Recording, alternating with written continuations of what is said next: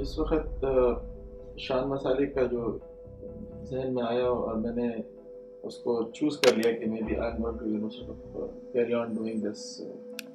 मुझे ये पता चल गया था कि दिस इज़ वेरी हलाल और मैं, मेरी कोशिश भी थी उस वक्त कि मैं, क्योंकि बनाया करता था फ़िल्म वगैरह ट्राइलिंग में था। मेरी खुश, मुझे मुझे, मैं चाहता भी ये था कि कोई हलाल काम करूँ, जिसमें अल्लाह की बरकत हो और मैं ऐसा कोई काम ना करूँ जिससे अल्लाह नाराज़ हो। तो I I think for that moment I think I was very happy that I found something which is my passion और साथ साथ मुझे जो है वो उसके अंदर बहुत स्कोप नज़र आता था बिकॉज़ मार्केट में ऐसा कोई अच्छा ब्रांड था नहीं जो जिसकी क्वालिटी और स्टैंडर्ड्स को मैं बहुत ज़्यादा प्रेस करता।